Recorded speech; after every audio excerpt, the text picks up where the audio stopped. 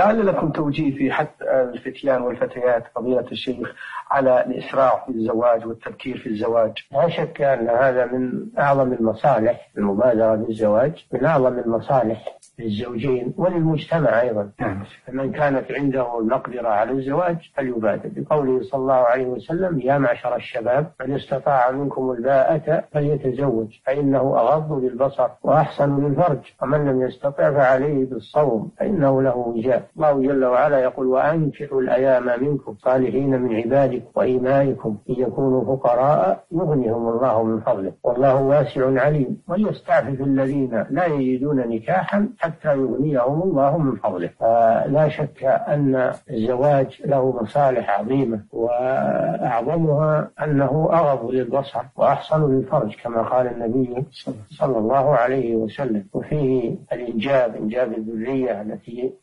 تنفع الوالدين وتنفع المجتمع وفيه التكافل بين الزوجين. المرأة تقوم بخدمة البيت وتربية الأولاد والأب يقوم بطلب الرزق وتوفير الحاجات لهم. ففيه تكافل وتعاون. نعم.